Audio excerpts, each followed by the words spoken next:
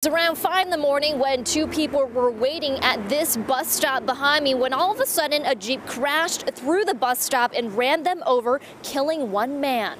Take a look at this video. You see the bus stop enclosure still standing until headlights appear.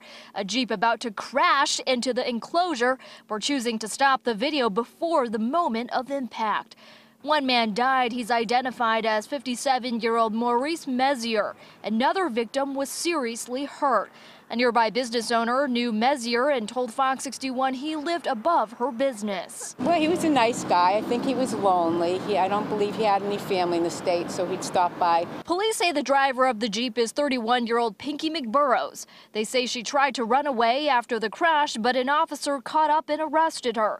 She's been charged with reckless driving, evading responsibility, operating without a license, and failure to drive in a proper lane with more charges pending. It gives me the chills. Raulio Mendez is counting his blessings, saying he stands at this bus stop at 5 a.m. six days a week, but decided not to this morning only because he had to go to the store.